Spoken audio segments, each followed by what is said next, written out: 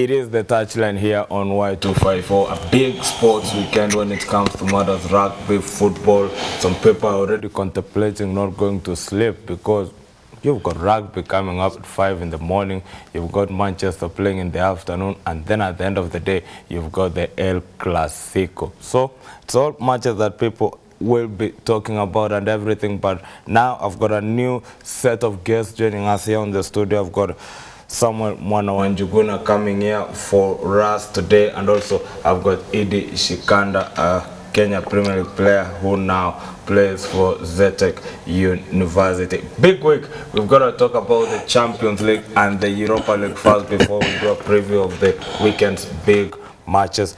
Winners and losers of the UEFA Champions League, Sam. Who would you take it to be? The biggest winner, I have to say, uh, has to be Manchester City. Yeah. I think for them going into Bernabeu and coming out with three points, and more so the fact that uh, one of the most, uh, the core players of Real Madrid, that is uh, Sergio Ramos, will not be there in the second leg. That- Yes. That's a very big boost for them. Uh, losers, I think Chelsea. Yeah. But as much as we, I I would go for Arsenal also, but I'm going for Chelsea because I didn't think they gave at all against Bayern Munich. They didn't look like they were challenging at all. It seems as if they were aware it's going to be a beating, but now 5 0, that's, that, that has got to be, it, it's not, it's not Was it 5 acceptable. 0 or 3 0? It was 3 0. 3 0, but Yeah, uh, still, still, Killing them. still, still, still, it's Chelsea fans will be on your neck. yeah, but still, it's, it's, an, acce- it's Had unacceptable. Two though. goals on our side. Idi, for you, Yeah. which one was your winner in the UEFA Champions League? A big night. Mm. It was a big night for Manchester uh, City. Yeah. Uh, pulling, uh, getting all the three maximum points at the Bernabeu.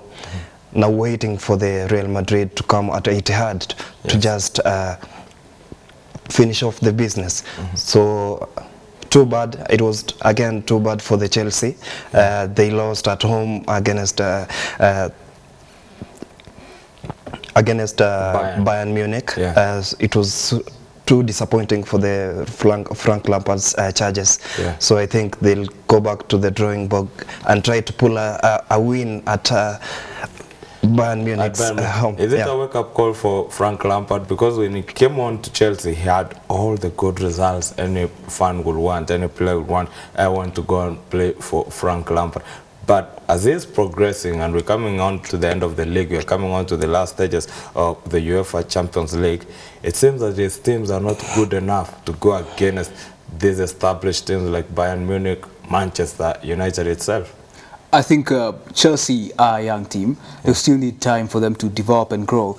But still, having said that, if you look at the game at uh, at, at Stamford Bridge against Manchester United, Yeah. that was a game you'd think they would probably win. But you see the way Manchester United played, and Chelsea seemed second to uh, at everything from Yes. from um, from the second balls. They were second at it. Uh, Manchester United yes did play well, but Chelsea didn't look at as if they, they were themselves. Look at the same game against Spurs. Now they had Yes. improved and they were playing well. And going to the Bayern Munich game, I thought uh, at least they would uh, at least challenge. Even it wouldn't be a bad result, you know. If, if it was 3-2, you would at least understand. Yeah. But again, Bayern Munich are very strong. Let's let, let's give the credit where it's due. Yeah. They're very strong. But even though that's the case, Frank Lampard right now does not know his best goalkeeper. Kepa is on the bench. Caballero is the one who's starting. Yes. He doesn't. Tammy Abraham, since he got an injury, he has been having a problem on the front line. Yes. And and again. Oliver Giroud is doing well, but he's not good enough. He's not the guy you're going to expect to give you 25 goals in a season. chances he right? So, uh, he, he, he- I I mean, he must find a way, and, and ZH is a good signing for them and will be coming in in the summer. Yeah. But at the moment, even holding on to the fourth position where they are right now is going to be a mountain. I'm wondering for them. People, are, okay. Yeah, Rob, about Chelsea, Yeah. I'll, I'll, I'll have to add something about Chelsea. Yes. Frank Lampard's, Lampard, he has been there as a player. Yeah. He knows the philosophy of Chelsea since Yes. he was a kid. This is a team whereby you, you are not going there to, to again, uh, to nurture talents again. I don't think if Abramovich will be uh, of more patient Yes. with him. Yeah. Uh, because this is not a team, this is not a club. It's a big club in uh, in, in the world. It's- Performance is yeah, everything. Yeah, so I don't think if there's that room for the uh, developing players. Yes. I think for the past seasons, past years, we've been having Makelele, mature players, and Yeah. all those best players in the world.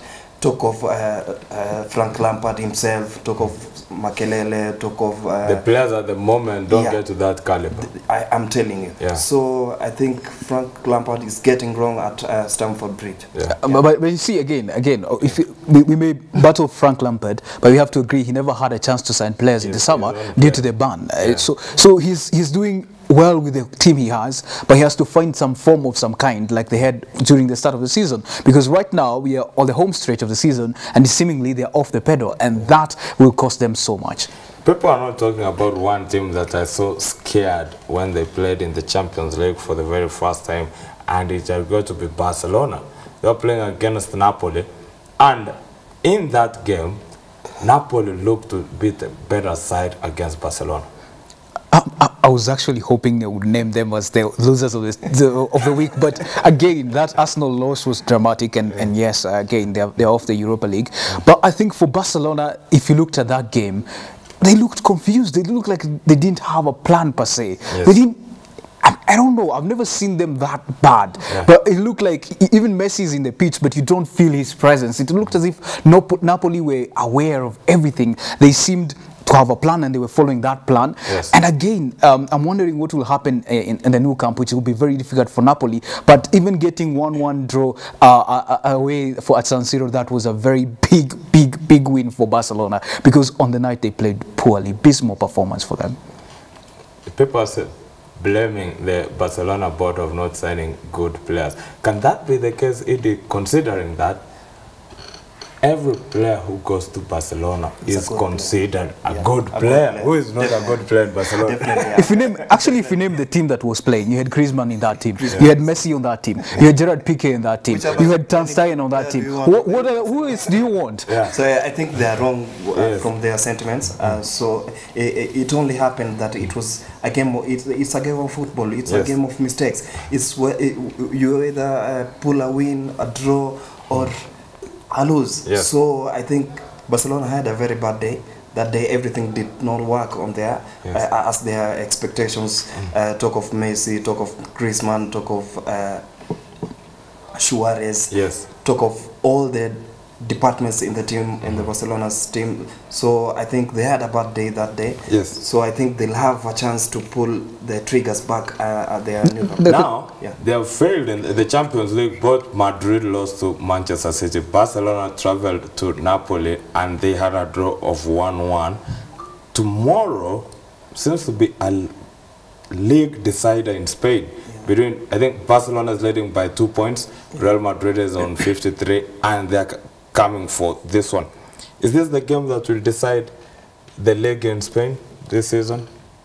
I can say yes, but if you look at the loss of Real Madrid last weekend to Levante, then you're just gonna say, if I say yes right now, it's not gonna decide the league because maybe they will lose to Getafe. Who knows? Who knows? Uh, and and yes, it's gonna be it's it's a massive game because uh, it's a must-win for Real Madrid if they want to keep the title hopes uh, uh, in the air. Yes. The last time they won the titles in 2017. Yeah. The- it's been two years, and even in 2017 they stayed almost five seasons without a title, and it has not been uh, it has Ma- been Madrid have Barcelona. won the league, I think, once in seven Yeah. years. So so it has been all Barcelona. So they, they really need to break that dominance of Barcelona. And again, in the in the, in the recent years, uh, Real Madrid has not been doing well in the El Clasico at all. So missing Eden Hazard in such a game is a very big miss. But Yeah. who Th- knows? that, that is the big question. Is it a reality check for these teams that now their key players are gone and they have to rebuild? Because you look at Barcelona, you like it, you don't. Sergio Busquets is at the end, is at the tail end of his career. Gerard Piqué might actually not play in the El Clasico. Messi is also getting Catching old, up. catching up per se. On the other side of Madrid, they don't have Cristiano Ronaldo. Here comes Eden Hazard, who was brought in with big money, is not playing. How is that affecting these two sides tomorrow? I think uh, uh, when it comes to derby Yeah. there's no team that uh, enjoys its uh, its good form Yes. or uh, it's, it is maybe starting anything off can happen. bad form yeah, Yeah. because uh, when it comes to El Clasico maybe any derby Yeah. it's more lively than any other thing in the world so I think there'll be more that toughness that mental toughness Mm-hmm. that that uh, uh, that urge of winning the, the match and the, the competence between the two the two teams. Yes. Yeah. These teams met earlier in, uh, I think, in January. Yeah. Um, again, in an El Clasico. And these two teams, if you looked at that game, it ended as a barren draw. But that game looked like having goals. If you looked at the first half, each team had opportunities. Now, come to this weekend, I'm really looking at uh, Real Madrid and asking myself, without Eden Hazard, Gareth Bale is not trusted by uh, by Zinedine Zinedine Zidane. So I'm looking at where do they get create chances? Now they have to trust actually- Vinicius Junior. They have to trust and, and, the, the goals for Madrid this season have come from from, Benzema. Benzema. So Benzema. again, if Benzema has a bad night, then it means it's a bad night for Real Madrid. Go to the other side. They'll have to rely on Isco. Yeah, and going to the other side, um, you look at um, Barcelona, they're missing Luis Suarez, and it's a very big miss. Let no one say anything else because Luis Suarez is a core of that team. The way he plays, the way he, he brings the other players, he brings in Messi, he brings in Griezmann, and he has seemingly has made Griezmann look as if he has been in that team for over five years with his presence in there. Now he's not there, and they now have to find some way playing Griezmann up front or bringing in the new boy Fati, and they have to find ways of playing. So it's, But- it's quite a tough game. experience wise because Barcelona past they don't have Luis Suarez they don't have Gerard Piqué Sergio Busquets and all that they have now young players they have this new kid they signed from Lille Braithwaite I think they have also Ansu Fati in, in the team. Are those kids capable enough to go against the likes of Isco who are well versed with the league the likes of Sergio Ramos, Sergio Ramos. at the moment? Can they do it? I, I don't think if they have uh, that uh, enough experience to uh, handle the the other side of Ma- Real Madrid Yeah. uh, stars because these are the young bloods that are being introduced in the El Clasico. So I think they have they'll have it rough, uh, despite them not having that uh, stage fright. But uh, Yes. in terms of El Clasico, I think they'll have it rough against the big guns uh, like uh, Mod, Lucas Modric in, in the middle park of the field of Real Madrid. Yes. Yeah. big one there that we are going to be having. But now, for I think uh, in the last 10 years and 12 years, one player has been deciding the derby has got to be Lionel Messi. But this time round, he's going against Madrid without his core backup. Can he still perform? Messi is Messi, he will still remain the Messiah. So there's the no, it's, it's, it still be the Messiah. I, I think uh, if you look at the defense of Real Madrid, it's been shaky this season. So th- that gives him an opportunity. And him being Messi, you expect him to produce something from nothing at any minute of the game. So I think he still could be the difference in that game. But again, you have to. I really have. I think Real Madrid. The only way they can get a point in that game is playing as a unit because. This is not the time you would say Ronaldo will come up with this magic. This is not the time. You're not expecting Benzema to, to, to do the magic himself. So again, I'm surprised Robert is saying Be- uh, Messi banging four goals is a fluke. you can't guess four goals. Yes. So he's he's just Messi. The way Yeah. he has said that he's just Messi, the Messiah. Yeah. We know. I remember uh, when they were playing uh, uh, Club Athletic Yes. Madrid. Um, they won by a solitary goal, and Yes. Uh-huh. it came from him. Uh -huh. So he'll rise up whenever he's needed. Well, it is the touchline here on Y254. I'm Robert Osoro. I've got Samuel Mwana Wanjuguna and Idi Shikanda here for the fan zone. El Clasico, that's where we live, but I've got to get that prediction. I'm a Madrid fan. That's why you Messi banging four goals, you're calling it a fluke? That's because you're a Real Madrid fan. um, um, honestly speaking, I see Real Madrid have so much at stake. So for them, it's it's a win, win, they, win, win. see, So they're it's actually on the verge of Yeah. losing uh, the Champions so, so yeah. So they they really have to fight. I think I'm gonna go um, two one in favor of Real Madrid. Put that on the card. Favor of Real Madrid. Idi? Uh, I think Barcelona will carry the day. Ooh, will be here next week. that is the El Clasico, and it is one match that comes once in a while. And when it comes, the world lights up because two of the biggest clubs in the world have to fight it out for bragging rights. And this time round, the league is at stake. So let's also go ahead to some of the matches to one of the biggest leagues in the world, and that is the English Premier League. Big matches that are happening today. We have got Brighton Hove playing home to Crystal Palace. It's the early kickoff match. I think that match has actually kicked off at the moment. And then we've got Bournemouth playing home to Chelsea this afternoon. Newcastle are also welcoming Burnley into their home, and then West Ham are playing Southampton, and then we'll finish off the day with Watford playing home to Liverpool. Those are some of the biggest matches that we'll be following for you there. Can this be a comeback way for Chelsea as they are going to play away to Bournemouth today, considering that Bournemouth are trying to cement themselves away from the relegation zone? Bournemouth only two points above the relegation zone. They are in a streak, a winning streak, um, destroyed last weekend by Arsenal. But uh, again, I think this weekend uh, will be a very tough game for Chelsea. But I see them having the cutting edge in this one. They have the quality in the team, so I expect them to at least take this one. Uh, but it's going to be a tough game, maybe 2-1 or, or 2-0 for Chelsea. 2-0 for Chelsea. Bournemouth have defeated Chelsea before. Yes, it's not, that's what I'm saying. It's not going to be. And, and the biggest problem this season has been a- a roller coaster for Bournemouth. They lost. They had the whole 11 first team squad was Yes. off in injury, so they're still coming back. They still have to find some form of some kind, and I don't think in this one that will work for them. They they they still have to kind of fight in to get a win there. But Chelsea, Willian will make something up from nothing. Yeah. The fifth position at the moment is the most sought after position in the league at the moment, and Chelsea knows that. Crystal Palace knows that. Liverpool, Manchester knows that. And Chelsea, they slipped up against Manchester United. They came back again against Tottenham. They slipped up in the Champions League. But they seem to have consistency in the Premier League. Against Bournemouth and away, is this a game that Frank Lampard tells his players that you have got to go out there and get that win? Definitely, those are the uh, the remarks uh, maybe from the uh, Frank Lampard's uh, mouth, because uh, yeah, actually it's a huge blow. Yes. He, he has got uh, four quality, uh, four key players Yes. who've got injuries. Talk of Pulisic, talk of Kante, talk of uh, Abraham.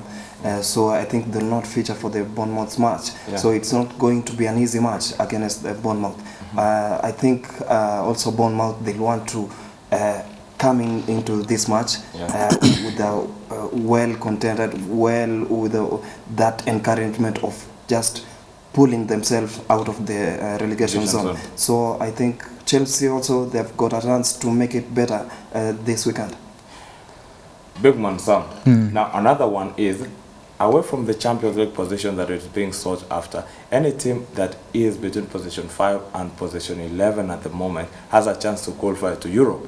We've got teams that are fighting for Europe. Crystal Palace is in that category. We've got Burnley in that category. Burnley might actually make it a back-to-back to Europe. The St. Wolves are also there and Sheffield United.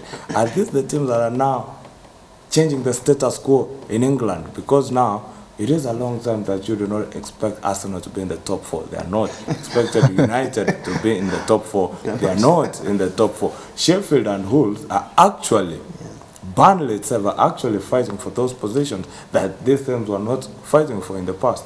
this this goes to how these teams have been investing. If you look at Burnley, uh, Sean Dyche has been investing in British talent, Yes. and he goes to the lower leagues, gets the people, he chooses people who fits his system. His system is very physical, so he chooses the players that are right for his system. Go to Arsenal. They had a man on the reign for over 22 years. They brought in Unai Emery. He tries to say he, he stabilized the ship. I don't think he did stabilize that ship. He made it uh, uh, more of, they didn't have a, stra- a strategy or a plan at all. Um, now they have uh, somebody who has been in that team, Mikel Arteta, and we seemingly has some plan. We've seen some direction. We're seeing some gameplay. So if you look at Manchester United on the other side, they had Moyes. They brought in Mourinho. They brought in Van Gaal. Now they have Ole Gunnar Solskjaer. That inconsistency. If you go to these other teams, I'm not saying they didn't have they didn't have inconsistencies of their own because Everton have been in the same way of firing and, and hiring managers. But if you look at a club like Sheffield United, they have a game plan and the rightful players. These players were all the way from the lower leagues. I was watching their documentary recently. They were in the lower leagues with the same players up to now. These players understand each other. They know what is expected. yeah, yeah, they expected of each other. But but this is the point. This is the point Osoro was driving to. The game this weekend, Tottenham versus Wolves. That's a do or die game, and that's a game sides. for both sides because Spurs right now they have three they are, they are three points uh, out they're four points away from Chelsea. Wolves are one point behind Tottenham, and Wolves have been playing spectacular football this season. Nobody can argue about that. So if you look at Spurs on the other side, they don't have their reliable strikers. So you in, in the last three games, Kane, in the last three games they've only scored one goal Yeah. in the last three games. So it's very difficult for them. So I'm, I'm, I'm going to watch that game so keenly because I think Wolves are looking forward to going back to qualifying. Even if it's not Champions League, they want to qualify again for the Europa. They've given it a run this season. They're in the round of 16. So I think Nuno Espirito Santos tells his, his charges, some of you should be playing in, in Champions League. Let's try and make it real, real and see what, where we go from there. The question is, Idi, how bad is it for Tottenham at the moment? You have lost Harry Kane, you have lost Son, and you don't seem to have a backup plan for this kind of players to come on to your setup. Yeah, it's a it's a huge blow for the Jose Mourinho side. So I don't think if he has any other plan than to plant some uh, some players in their unusual uh, uh, Positions. positions. Yeah. So look at uh, Sissoko. I think he'll have to force Sissoko to move up front a little bit to maybe try and uh, step up uh, in the Hurricanes' uh, uh, uh, shoes. Sissoko is out.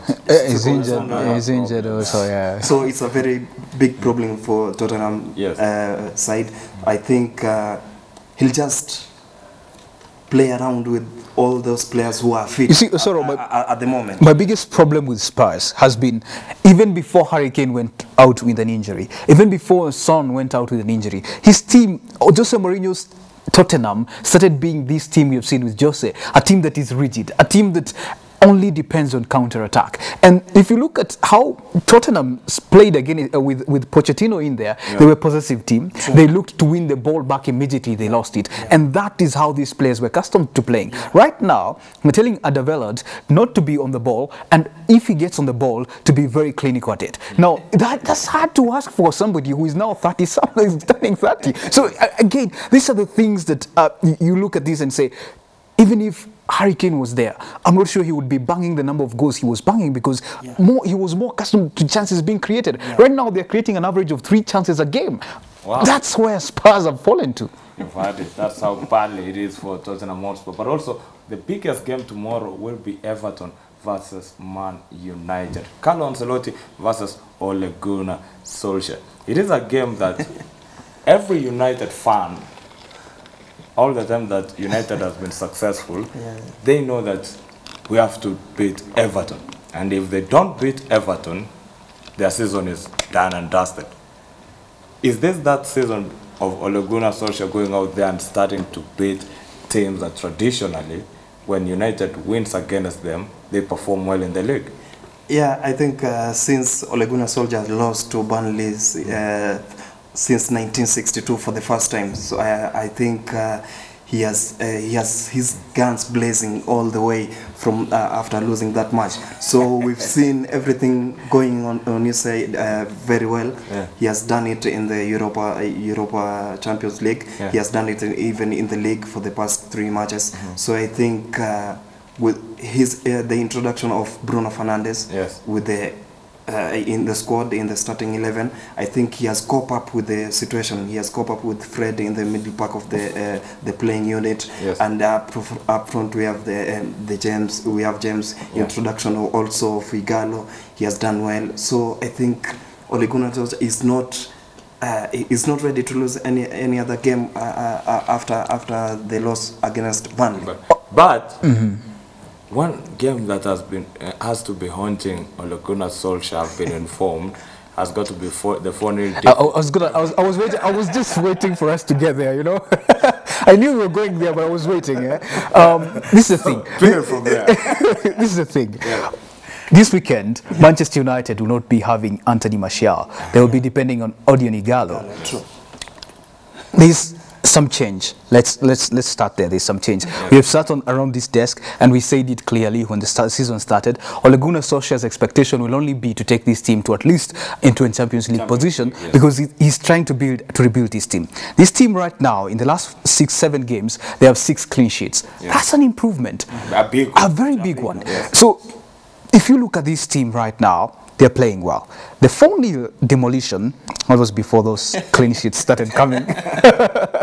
the 4 0 demolition Yes. was the, he- Ole Gunnar Solskjaer described it as his lowest moment as a manager. Yes. But even though he described it as his lowest moment in, as a manager, the key thing to take home is he said he noticed some of the players that should not be playing for, For Manchester, Manchester United. United, That is the key. That's the kicker. So he knew this player, this player, this player X.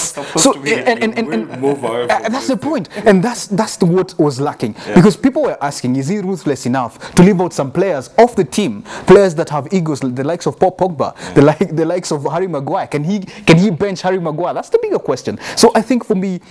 I don't see them losing 4 0, Yeah. but I think that 4 0 demolition was a learning lesson for Ole Gunnar Solskjaer was a wake-up and, and, and all, all, all his charges. And right now, Yeah. I think Everton, last weekend, they were, they were just unlucky at Emirates. Yes. If you look at the last moment, Calvert-Lewin, his header going centimeters wide. I, I, I think for them, Everton are also having some run of their Yeah. own.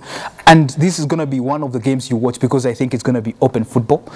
The, the And thing chances are gonna be the- there. The thing is, I put across you is Ole Gunnar Solskjaer's tactics now have to come to the fore because now he's going against a well-known manager. Even Mikel Arteta went against Ancelotti last weekend and we saw how he performed. Now it's the time of Ole Gunnar Solskjaer to go against Ancelotti. Do Ole Gunnar's tactics inspire confidence in Manchester United at the moment? Absolutely, yes. Yeah. I'll, I'll go for Manchester United because uh, he has pacey wingers. Yes. He has uh, good attacking uh, up fronts. We have uh, the introduction of Ighalo now because he's familiar to the league. He has been in Watford. He has been banging goals uh, uh, uh, alongside D- uh, Deeney. So I, I- think he has just started. And in future, I think they'll buy him not about the loan. Yeah, Yeah. But- on the question, on the question, Yeah, on the question of tactics, yeah. on the question of tactics, this Ole Gunnar Solskjaer has proven this season that he gets his tactics right. He proved it against Jurgen Klopp, where it's the only team that has gotten a point uh, on Liverpool this season. He proved it against Pep Guardiola twice. Twice. He has proven it against um, uh, against Frank Lampard, Tottenham. Tottenham, Jose Mourinho. So he, he has proven himself that as, as a tactics, guys, he is uh, uh, on his tactics he can get them right. The bigger question was can he break? Can his team break down um, teams that come and sit in? Everton is not the team that is going to sit in, and now that's where the challenge comes in. So Everton is going to try and look for possession. Can Manchester United rely on counter attack alone to defeat this team? No. And right now you have a player at the middle of the park, Bruno Fernandes, who wants the ball, who wants the ball. So he, that that's going to be the big difference in the midfield. And, and I'm, I hope, I'm just hoping that Gomez plays for for for, for Let's Everton. there. Let's leave it at there. Let's leave it at there. I'm begging for five minutes because I had forgotten that we had the Carabao Cup final. Yeah, this weekend, yeah. Aston Villa going all the way against Manchester City. It- It's been a long time since we saw Aston Villa come back to the way they've come back onto the league at the moment.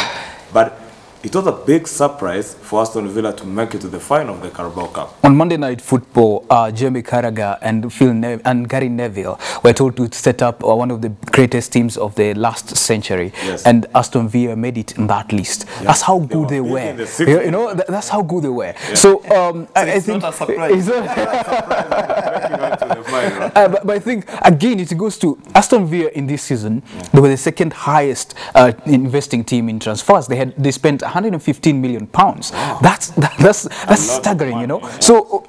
For them, they're not the likes who go for big players. They go for Trezeguet. They go for s- players, Mbwana Samatta. They won't go for players that are costing 50 million pounds, but they'll go for players 15, 20 million pounds. But they have a plan with those players. And if you look at how they've been playing this season, they have challenged even the best teams. Uh, Liverpool had to sweat to get points uh, against them. Against them. Manchester City had to struggle with them. Manchester United, I don't want to even talk about that. So eh, it, it, it really goes to speak on how these teams have been investing. And you were asking about these teams who are fighting now to get into the Europa League positions, into the Champions League positions. And, and, and, and that's the point. And that's the point. These teams have realized we cannot muscle these teams in terms of resources, but we can muscle them in terms of talent scouting. And that's what they're getting right. If you look at Manchester United in the last seven or six years, they've getting their, they've gotten their scouting wrong. They got the likes of Di Maria, they flopped. Memphis Depay, they flopped. Falcao, we have even forgotten Sanchez now, who is the highest paid in the English Premier League. So again, these are the things that these teams are getting right. And Aston Villa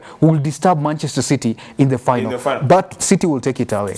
one player you'll be happy to be watching in that final has got to be Mbwana Samatta. Mbwana Samatta plays a, a drop back kind of like striking position when he comes on to play. With the defensive problems that Man City is having at the moment, Laporte is not going to be there. I don't think Otamendi can step up onto that level. Fernandinho is good and he plays there very well. But Mbwana Samatta has got to be that player who can trouble that defense. Uh, I don't think I don't think because uh, Pep Guardiola's uh, charges, they, uh, I think in the defense line they have that depth. Yes. So I think uh, the introduction and maybe John Stones will be fit at uh, in, in in the match. Maybe. Uh, you know, just let me make a joke here. Like I was watching, I, I was reading some of some of these things and, and about before Tottenham and Wolves, and I was reading about the players who will be out, eh? and you know what they wrote about Wanyama, out of favor. So I think as John Stones, it's the same case with John Stones, he's out of favor. you know, yeah. So he's out of favor. So, I, again, yeah. So I think um, Samatta is going to have a hard time maybe to break the chinks against the uh, Pep Guardiola's defense line. Uh, so I think Man City are well versed and uh, they have that vast experience with Yeah. out of uh, maybe pulling uh, pulling a win from. Uh, Banabo, it will give you the, it will give them a, a high morale of maybe clinching the title and maybe yeah yeah and doing all Eh, you know, steps. one thing that I know about Pep Guardiola, and that doesn't change, doesn't matter whether his team is playing poorly or not, is that he demands the very best. You remember at Watford the final, uh, the FA final against Watford? Yes. They have scored six goals, but he's still angry when a Yeah. player misses Yeah. one, a chance to score. True. And even after the game, they have won the title, yes, but he goes to Raheem Sterling and tells him, "I need you to improve this. I need you to improve." th-" And that he is that meticulous. And I think in this game, he sees an opportunity to get a cup. That is something they need this season console himself. To at least not Yeah. even himself to at least console his bosses Yeah. because this season has been that season for them. And Aymeric Laporte again limped off against um, in Real Madrid. Madrid. And that is another bro. He had just come back, and, and I'm just worried how Manchester City Seems will be playing again. the. Yeah. That is not the only game that we are following on this weekend. It's also in Italy. We've got Inter Milan against La- Juventus. yeah. If Juventus lose, we hear that Allegri is on the sidelines there to come back as a coach of Juventus. How do you think that match will go? Because also, Inter Juve can decide Yeah. who's going to lift the league at the end of the day. Yeah, I think uh, Inter Milan for the past uh, few years they have rejuvenated themselves Yes. and they are coming back uh, again to their lost glory. So I think uh, for the, they did a very good signing. Lukaku, Yes. he's banging goals each and every day. So I think he's going for the uh, he's going for the victory against uh, uh, Juventus. I'm, I'm gonna say this. We, we talked about the biggest losers. How did we forget Juventus? How? Just how did it? How did it? Yeah. How did it slip our minds, man? I, I- mean, it's just uh, if you're talking about Asari, and since joining Juventus, he's not seemed as if himself. You know, Yes. the way we used to so, to know him as a calm manager. He's been troubled, honestly. Yes. Despite him having all the talent in that team, you've got Cristiano Ronaldo, you have the likes of Sami Khedira in that teams, you've got um, uh, you've got Ramsey in that team, Ramsey, you've got. Bonucci, one of the most experienced defenders. You've got Szczesny, who was a very improved goalkeeper. He doesn't seem yeah. like the same goalkeeper was at Arsenal. So I think this for him, he, he really needs to win against Inter and at least take the the the, Cop, the, the Serie A title this season for him to be able to at least show the bosses that I can be able to manage this team because the, the, there are so many questions. He has lost to some teams that you don't imagine Juventus losing to, Yes. and. At the moment, Inter Milan are six points behind Juve, and they have one game in hand, which is the game they're playing this weekend. So that is a chance for Sarri to open up a bigger gap. But I think Inter Milan have also, in the last run of few fixtures, they have they have not been uh, scoring goals as they used to we, when the season started. They have come come under some stale period. But I think for this game, they will bring their very best. And I think this is the game where Predictions quickly. this is the game where Lukaku will be doing something. So, uh, uh, prediction. I'm, I'm just gonna. I'm, it's, it's not gonna be a very clean game. It's a Yeah. game where there will be a lot of flying tackles. Um, I think it's gonna be. I'm gonna go one 0 in favor of Inter. Inter Milan. Wow, great score. there. Eddie, Me too. one nil. Yeah, Inter Milan. That's where we come to the end of the touchline here. Big show that we have had today. So this afternoon, where are you heading to? It's a sports weekend, a serious one. Uh, it's a tough weekend, but it's my off day, so I'm trying. I'm trying to catch up on some things. So yeah, I'm just gonna go home and watch some fixtures. Yeah. Uh, but mainly is um, also planned for the week. So I don't think I'll be going to any stadium after this. Oh, Eddie. Yeah, I'm just heading back to home Yeah. because tomorrow I'm having a very big Oh. match. Yeah, so a league match. Buruburu Sports. Yeah. Yeah, Stadium. So mm-hmm. just going to relax home and Rejuvenate. myself. Yeah. Right. That's where we come to the end of the touchline here on Y254. Big thank you to Idi Shikanda who plays for Zetech University, right? True. Big team there. We'll be traveling to come and see how you're playing there and see how you perform. Samuel Mwanawanjuguna is a colleague here at the newsroom and we, we were honored to have him here for the show. Other guys, we want to say thank you to Akuato Bingarwa Kamunya, who is a sports lawyer, and Mwalimu Kikechi Kombo, the Director of Innovations at the Kenya Rugby Union. So if you are having time, you can go ahead to the Jamhuri Showground and enjoy Nondies versus Mwamba, and then Homeboyz versus KCB Rugby Football Club will be your way. But also, during the night's biggest matches, Kenya is in Los Angeles for the very first time, not in Nevada, and they are playing in the leg there, the rugby series leg. The first game against South Africa will be at 10.35 p.m. and then at 1.31 a.m. we'll be playing Northern Ireland and then in the morning at 5.35 a.m. we'll be playing Canada. I am Robert Osoro. On behalf of everyone who has made this broadcast a success, say good afternoon. Enjoy the rest of your viewing.